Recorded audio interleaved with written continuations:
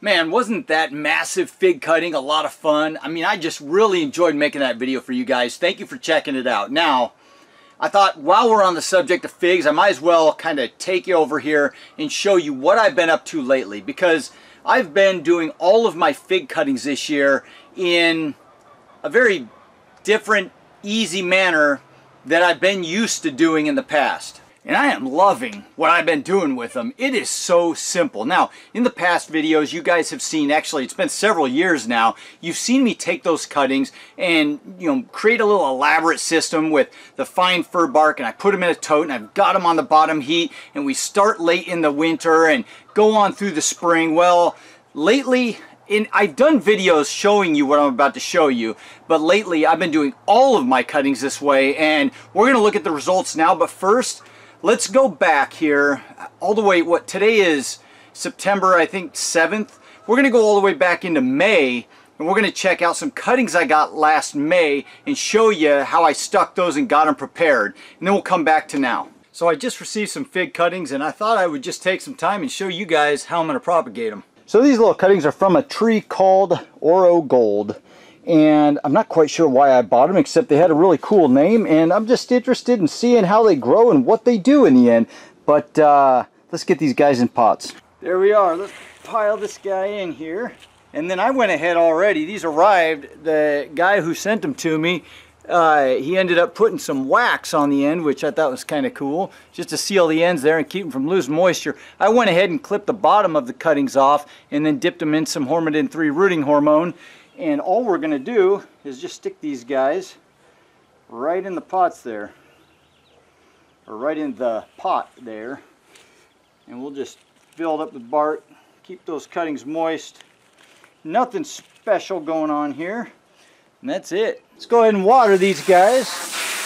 Get them completely saturated in there. And I know what you guys are thinking. Mike, all you're doing is rinsing off the rooting hormone. Well, that's not exactly true because I dipped those things inside maybe 10 minutes ago. They've had a little bit of time to soak in. And on the bottom of those cuttings where they're actually going to root, that hormone is not going to be rinsed off. It's sitting flush against the bark. The hormones between the stick and the bark. It's going to be fine, guys. So there are little Oro cuttings. Isn't that cool? Just all sitting in a nice little pot. Why did I put them in one pot? Because if I put them in three different pots, then I'm using up three times the amount of rooting medium and three times the number of pots and three times the space in here and we don't even know if they're going to take yet. So I like to do this. When they root, we'll pot them up into bigger pots and just let them go from there. But what is today? Today is May 16th, I believe. I'll come back and show you guys when something's happened. It's probably going to be about six weeks. Here we go. Alright, so now before I show you how those Oro Gold cuttings turned out, let me show you some other cuttings that I got because I went a little nuts this year and was just buying up cuttings and figs like crazy earlier in the spring. But I got one more variety to show you, getting prepared and stuck in their pots. Okay guys, I am excited. I've got fig fever like it's nobody's business. I've got somewhere close to 45 varieties, which there are, I think, a couple thousand varieties out there, but uh, as many Rhodes as I've got, close to 50 varieties of figs is plenty for me, you would think. And then my fingers got a little busy on the keyboard. So I actually ordered some more fig cuttings. These came from Herman on eBay. He's a well-known, well-trusted fig cutting seller. Uh, has been growing figs for decades and I bought figs from him in the past fig cuttings and have grown them. In fact, my Italian 258 came from Herman most beautiful tree I've got, probably one of the best performers, and I've even gotten fruit off of it in my zone 8B. And that was without a greenhouse. So here we go. These are the cuttings he sent. He never fails to impress me. They always show up in great condition and just ready to root. I am excited to get this started for you guys. And there they are. Look at all of these beautiful fig cuttings. Look at that. And he always sends more than he actually advertises so that you can ensure that you're going to get something to root. Now these cuttings have some beautiful dark wood and I absolutely love it. First thing I'm going to do here is just snip off a little excess material so that we've got some just some fresh material for these guys to root with. They've been shipped from across the country, sat in my refrigerator for a couple days and uh, we want to give them every fair chance that they can have here. Man, he did send, what did he send? One, two, three, four, five, six cuttings. I think he only advertised like three or four of them. That's pretty cool. Thanks, Herman. We're going to skin these down just a little bit. Take a little material off each side. I do with my rhododendrons and just about all my hardwood cuttings and it just helps give an extra little area of cambium for those roots to grow out of. Now this is the part you want to pay attention to and you can have a lot of fun with figs if you plant them upside down. They can be funny and grow down and then back up and do weird things but if you look at the fig cutting, let's see if we can zoom on in on this enough. If you look at that and can see that there's there's a node right there. The the going the fig cutting is supposed to be pointing up, obviously, but you can see that there's a little tiny bud just above where that leaf broke off there.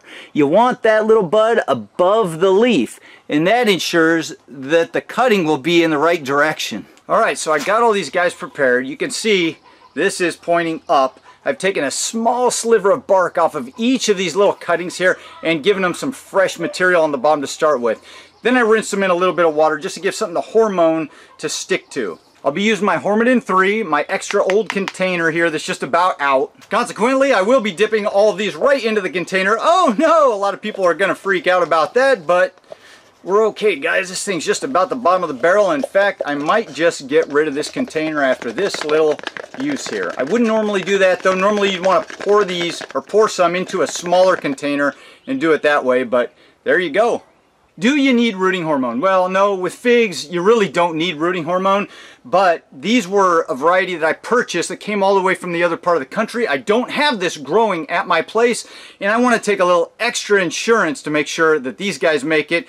Once I get a good rooted fig, which I'm sure will get all or most of these to root, then I won't worry so much about it because I'll have my own tree that I can practice and experiment with all I want. But for now, thank you, Henry we want to be on the safe side. And now these guys are just going to all go right in one pot and then we'll just watch them root on through the summer. Now, I think I forgot to tell you guys what these are. Or did I? I can't remember. You tell me. Well, I'll just go ahead and tell you. These are Marseille Black VS. And I've read that they are really a good variety for my area, Zone 8B. And that they're cold hardy, they will fruit earlier, so I should get some nice trees out of these that will perform well in my region. Get a little water on these. We'll pack them down. Throw some more bark in there. And a little more water just to round it off. So that's it. We'll set them off to the side here and just wait for something to happen. Today's May 29th, I believe. I'll have the correct date down below and we'll come back when something's happened. All right, here we are. I've done nothing but water these things. We're all the way into September.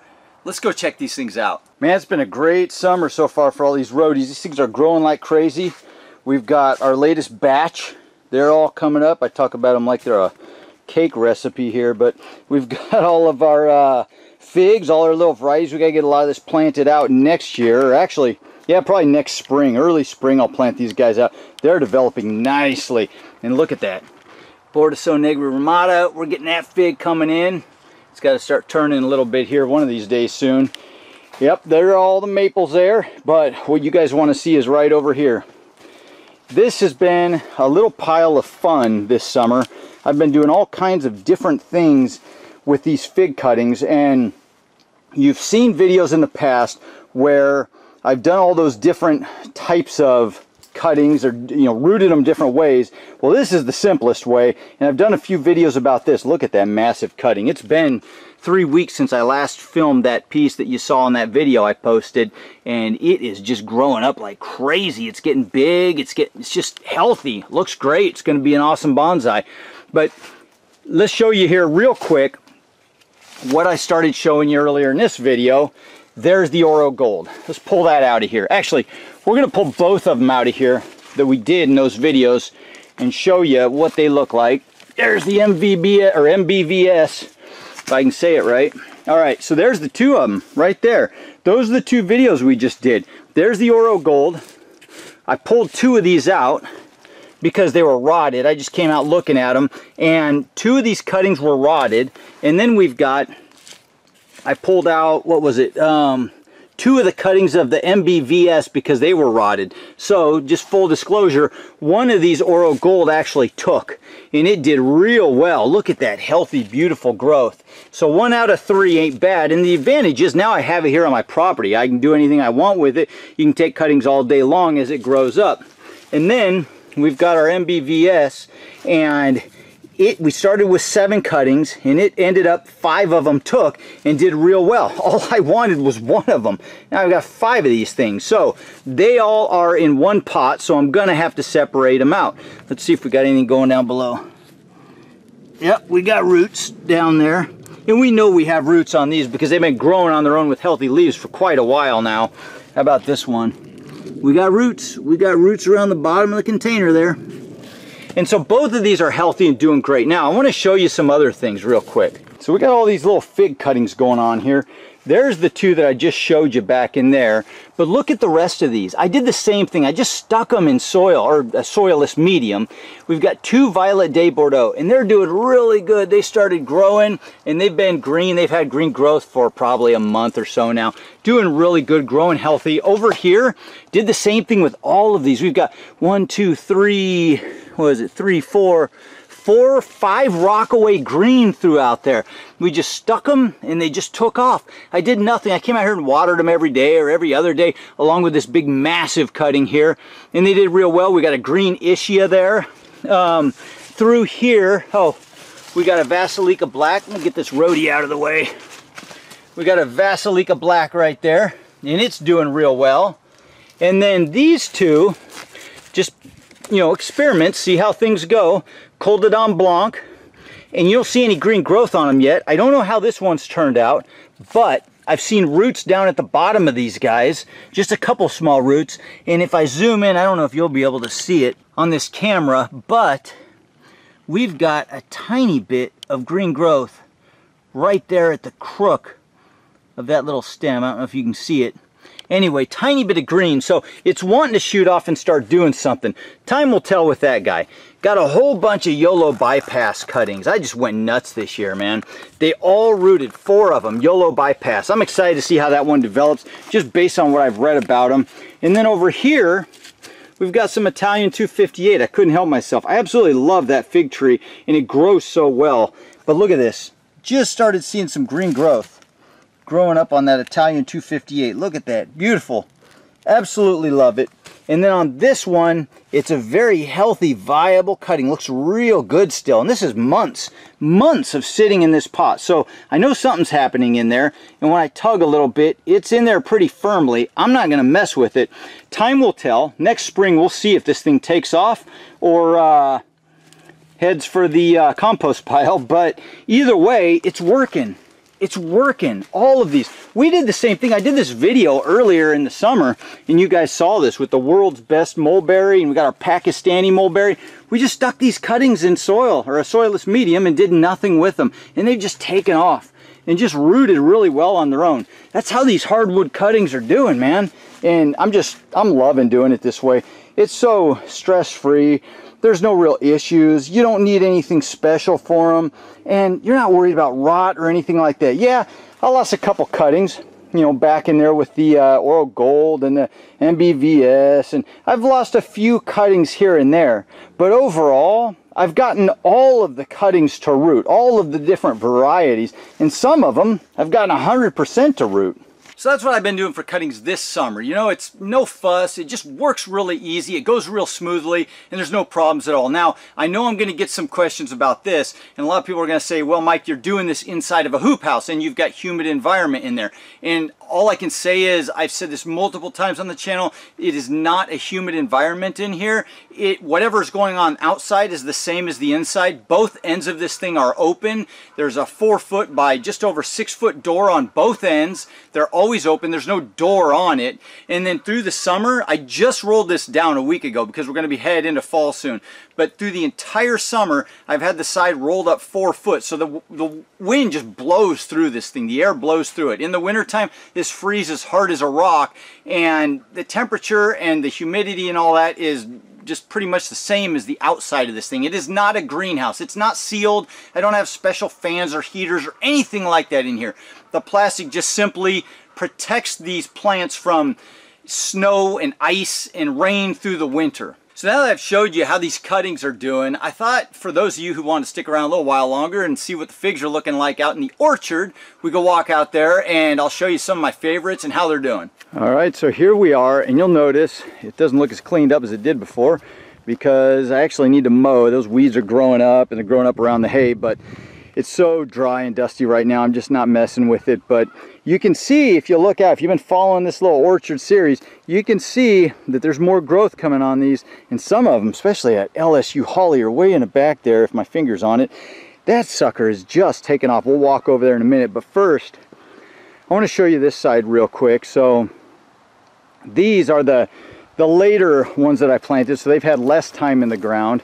Not too much less, but they have had less. But I want to come check out this one right here. This one is the one, if you guys remember, yeah, I need to weed all this stuff, get out of the way, but this is the one that the Col de Dame Rimada that I actually mowed over on accident and I left it. A lot of you said, just leave it, see what happens, Mike. And there it is. And I was looking down here, and I don't know if you can see it. See if the camera will pick it up. It almost looks like, let me get this weed out of the way it almost looks like I've got, we got to cover the shade, get this in the shade, here we go. A little bit of green growth, right? Is it right there? No, that's a fertilizer pellet. Right there, I don't know if you can see that. Let me, there we go, I got to shade it. There's a little bit of green growth. Right, right there. You see that? It looks green to me. It might still be alive. I've left it there. And we've just been watering it. We'll see what happens pray to God, hopefully that thing just takes off next spring. I'm not thinking it's going to do too much this summer, but got our Olympian over there. A lot of these things are just getting established, especially on this side. Not too much going on, but let's walk over here. I'm not going to go through this entire thing one at a time, but I'll just show you some of my favorites and what they're doing lately. That Man, that Ronde Bordeaux is put on so much growth. All this stuff on the end here, that's all new growth. Just massive growth. You can see the old wood from the original plant, but it's just taken off, man. And this uh, Violet de Bordeaux is finally getting set in. It's got some little figs this year, but over the next two, three years, as these things get established, they're really gonna start coming into their own, but there's some nice new growth down below. Let's come on over here. That Black Mission, it's producing figs, but uh, it's not doing as good as I'd like to see it do. I think it's just like the rest, just still trying to get established but it's uh, doing something here. There's that Black Madeira KK just trying to get established. Finally starting to put on some nice growth down there. It's just getting later in the season. We're going to be headed into fall, but uh, I'm thinking what I'm going to do is prune this one back. In fact, Wesley over in England, you're going to get some cuttings of this one. This is the plant that I actually got from KK. This is not a cutting of that plant. This is not a cutting from some other plant that somebody said was a KK. This is the plant that was sent over to me from KK, and I know that's what you're looking for because you want to compare it to your other Black Madeiras, but you're going to get some cuttings of that guy right there. But once I cut that back, and we come back to next spring, and it's been establishing all summer long this summer, I think we're going to see a lot of nice new growth just shoot out of there. We'll come back. Stay on the channel. Keep following. You'll see it next year. And then we got right here, we got one of just turned out to be one of my all-time favorites it's just such a beautiful stately tree man that italian 258 look at all those figs on there look at that and i have a feeling that black madeira behind me here i have a feeling that's going to do the same as this because i actually i took a cutting one year and the cutting was only about that tall on that black madeira and it had about that many figs on it as a cutting so i think once that thing gets established right there it's going to do the same but man, this Italian 258 is just looking beautiful. And we're getting later in the season, man. Now, this time of year, when I had them in pots, all these things would be turning yellow and losing their leaves and looking ugly. They're still hanging in there, man. And that's just the difference I'm seeing from growing them in the ground. We've got that Smith over here. We got the Le Bourgeoisie right here. Now, this one, I'm definitely gonna have to take all these cuttings, I think. I guess we'll see how it does over time in the ground I definitely need to pull up all this thistle too before that goes to seed, but um, we're just we're just getting this set in right now. Don't worry, there's lots of work to do. We'll get it's gonna get established and get going. I'll have it all weeded. Just keep with me, guys. So it ain't perfect quite yet, but uh, lots of beautiful growth. Man, getting poked by them things. Lots of beautiful growth down in there in that uh, La Bourgeoisie. Lots of it. So if you remember me talking about it in that last video, this variety right here, every year in the pot it died back to the ground. And so I'm gonna have to either take all of this as cuttings or just cross my fingers and hope that it comes back because it's been in the ground. I might take a bunch of cuttings off of it this year though, we'll see. Got Martinenca Rimada. it's doing good. Getting some big leaves on it, starting to put on some nice growth. Wish I had about three more months of summer, but I don't. That strawberry verte this thing, look at this. That sucker just fell over from the weight. So what I'm gonna do is I'm gonna definitely come back. I'm probably gonna snip it off right there and just boom. And then let all this growth come up. And those will all be cuttings all throughout there. And uh, it'll straighten up a little bit. Look at this one. This was a, believe it or not guys, this was a small plant. Just this, uh, all these weeds out of the way There goes Henry. This is a small plant. When I planted it, was in a two gallon pot and it has put on a ton of growth. You wanna know what that is? Violet des Sollies. I'm excited about that one. Excited to see what's to come with it. I don't see any figs on it yet, but look at the size of that new stalk, all the way from the bottom. There it is. I'm telling you, this in-ground stuff, this ain't no joke. These guys really take off. Like I said, no figs on this one yet, but it just needs a few years to get established. Norde Barbenton, is that that one? Yeah, I believe so. I believe so, yeah. I need my little paper, but I'm pretty sure that's it. But look at that growth on it. Looking good. Got a couple little baby figs, they'll never ripen. That's that, uh, which one is this? Help me guys, come on. Help me. That's that Vasilika Black. I had to get down in there and look at this hack.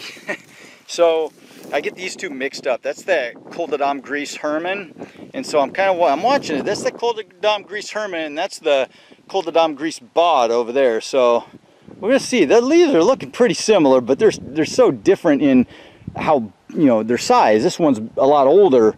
So we'll see what happens as they develop, but Vasilika Black, tons of new growth. Just a beautiful tree. You know what, everything Herman sells, he's tried and tested over in his zone. I think he's like zone 6A or 6B.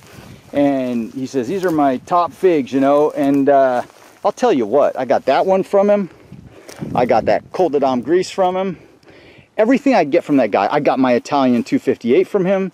Everything I get from that guy just takes off and grows fantastic. I mean, I just can't say enough. He's just got some great material, man. Oh, I showed you guys that one. Uh, this is, geez, one of my favorites right here, LSU Hollier. I really need to weed out here. This thing is just taking off. It's probably my biggest, healthiest growing tree. It is in a little more shade. I'm going to remove some brush and trees just to uh, get some more sun out here. But man, look at this one. Look at this branch. Just tons of growth. Tons of growth. Look at that. That's all one season on a plant that was already trying to push out growth on this other stuff. I mean, look at that. There's another one. Look at all them figs down in there. Figs. Every branch. You get way down in there. I don't know if you can see them. Figs. Look at all them figs everywhere. Fig, fig. I mean, look at this one branch right here. Figs all throughout there. I just haven't seen them ripen yet. Will they ripen? I don't know. Maybe not this year. I kind of planned them a little later. We'll see. Not worried about any of that. I'm just getting these things established and set in the ground. Brown turkey, he's finally picking up. We don't have to go through all of them. I know some of you probably want to. I just get excited about this stuff. Look at that. That's that Daytrea split right there. I almost got rid of that thing. Look at it. Took off. When I planted that below the hay line, you couldn't see any green. That's how small it was. It's already up several feet above the hay line now.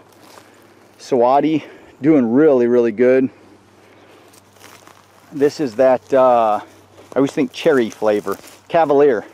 Got that one from Dan. Doing really fantastic in the ground. It was just a new little plant, and I just said, heck with it, I'm gonna plant it out. And look at that, I'm glad I did. Look at them leaves, man, size of my hand. Look at that, huge, beautiful growth coming out of that one. We got that uh, Ben's Golden Riverside right here. That was a cutting that I did for you guys on a video this past winter, and it made it. In fact, when I planted it out, if you remember one of them orchard videos, when I planted it out, it died. I thought it was done, but I left it anyway, and this it came back from down below, and that's what it's doing. It's coming up, and this is a hardy plant. It's going to be fine now. I'm sure it's well rooted down in there. And this thing, you saw it in the hoop house. This one in the hoop house is one of my hardiest growers. So next spring, I'll bet this thing just takes off like crazy. Here's that Col de Dame Gris Bod. Doing good. Putting on a lot of nice growth. Looking fantastic. Let's get my blocking it. I'm blocking it. Look at that. Beautiful plant. It's absolutely gorgeous. Love this stuff. All right, this video is starting to turn into something that only a fig lover could love, but Smith, not growing as fast and big, but it's just getting established. Don't worry, guys, it's coming. It's coming. I got nothing but patience. Look at this. Look at that figs all grown throughout there. Will they ripen? I don't know. It's just first year in the ground. Look at this. Look at that. You like him? That's a beautiful looking spider. I better be careful where I start grabbing. Look at that thing. Holy cow. There's that mission, black mission. What we got over here? Col de Dame Blanc. That's the Col de Dame Blanc, same one I got the cuttings off of inside. Look at all the growth. Col de Dame Noir. I was hoping this one would put on more growth than it did, but you know, it's getting established. I love, still love the leaf pattern on this.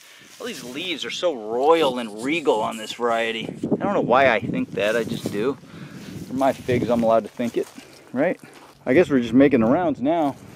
We got Celeste over here, JH Adriatic. That's kind of like my Strawberry Verte, just tipped over. I'm gonna have to cut it down there and let it come up a little better from the bottom. Celeste, loaded with figs. I'm kind of hoping some of those ripen up before the season's over. We got our Tacoma Violet over there, loaded with figs. Haven't seen anything ripen yet. Uh, what's this guy? I got this one from KK. I always have to think about the name. I'll think about it. I'll get it. Don't worry. Calderona. There it is. I had to turn this thing off and just think about it for a minute. Calderona. And I've actually, like I told you before, I got one of these figs to ripen indoors. It was really cool. It's a really beautiful fig and it's a flat fig. Look at that. Really cool. Really neat looking. Anyway, that'll never ripen, at least not this year. Who knows what will happen in years to come. We, somebody was talking to me about this online. We do live in a unique climate uh, in this area in the Pacific Northwest um, in you know western Washington it's kind of a, it's a pseudo Mediterranean climate. And like I told you guys in the beginning of this whole orchard uh, video series and now you're starting to witness it for yourself. We're in September. I mean you can see the leaves changing but it's hot. It's clear. This is how it goes in Washington.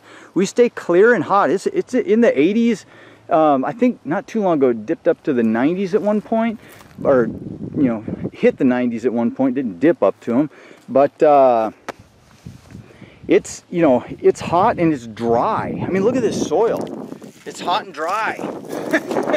All the way into, uh, shoot, it doesn't start raining usually till October, mid-October. So we might be in a great climate for these guys after they start getting really good and established in ground. A couple years, we'll see what happens. I might uh, prove myself to be a total liar here. I don't know. We're going to find out. Stick with me. Uh, Colonel Littman's Cross. That's I had to sit there and think about that while I was talking to you. Let's move over here. We got our Maltese Beauty. I sit here and I, I, water all these by hand and I say their name as I go by, so I've gotten better at it. I, I still have my list and I started with the list and I've still got labels down in there, but I had to sit there and just say them. This is what I do with my roadies. They go, how do you know all the names of those roadies, Mike? I'm going to pull that out of there. I'm just worried I'm going to grab a spider. I said, how do you know all the names of all those roadies? Well, because I love them, one, and two, as I plant them and I water them, as I'm watering them, every time I go through and I water them, I say their name, I say their name, I say their name, I practice over and over and over. You know, if you love something, that's what you do, right? That is what you do. And this is Bourjassotte Grise. Just almost got rid of this one too, just like that De Tres Esplets right down there. I almost got rid of this one because it wasn't doing anything. It seemed to be dying back in the pot and uh, planted it out. I just threw caution to the wind. Let's plant it out. And I did it and look at it. The thing is taking off. That sucker is taking off. Latarolla, not doing nothing. Supposed to be a good performer in my area. Got some figs on it. Once again, just getting established. It's okay, little buddy. You're just getting established. I'm sure you'll perform eventually. Super excited about this one. Which one is that? Come on, guys. I'm quizzing you. Ponte Tresa. Beautiful. Didn't know what to think of this one. Didn't know if I should put it out in the ground. Look at it. When I planted it, it simply had that growth right there up to there, maybe eight inches. It had this one tall thing coming up here. All this other stuff, this new green growth, all this is new. All this is new, getting in the ground. It took a while. Compared to the others, it took a while, but once it started taking off, it just started taking off. So excited to see how that goes over time. And then everybody in the Pacific Northwest has to have this. It's a Desert King. Can't wait to see that just start pumping out the figs. Really looking forward to it, especially in my climate. And the De Tres Esplets, we talked about that. You want to go look at it? It's got figs all over it. They say this thing produces three times a year. Of course, once again, this you know first year in the ground, it got a late start, so it's probably not going to ripen anything. But give it a two, three, four years in ground, get some establishment going on it. You know, I think we might see something. We got our Stella. This one, geez. Steve, I can't thank you enough, man. It's kind of a funky looking tree. I'm thinking about I'm thinking about just hacking it all the way back to that little growth way down there in the bottom and letting it come back up again just because it's so long and lanky. But man, does it produce some good figs. I, have actually got some ripe figs off of this in previous years. And uh, I knew I had to plant this one out. Beautiful tree. Just beautiful, big, nice, healthy figs, man. Really excited to see these guys ripen. And I'm sure they will. They ripen before in the pot. Nine days old. And then what do we got here? Suwadi. That's the Suwadi. Beautiful little figs. I kept this one because of the fig color. They kind of start getting that red underneath and then they kind of, the red spreads out around the bottom and I just, and then it turns to like a yellow on top. And I just looked at so many pictures of those and I thought it was such a beautiful fig. And just because it came from a different region than a lot of the other stuff I have here, just had to keep it. And it's taking off and doing good. I thought this one was dying back. Now I actually lost this branch, but then all this stuff started happening on the other side. It's doing better than I thought it would. Chicago Hardy, doing nothing. It's all right. We'll give you time, buddy. We'll give you time. So that's it. That's all I got for you guys today. Thanks for hanging out with me. It was a lot of fun. I enjoyed going through all that. I hope you guys did too. If you did, you know what to do. Hit the like button, subscribe if you want to follow along and see how all these guys turn out. Have a fantastic week and I'll see you in the next video. Adios!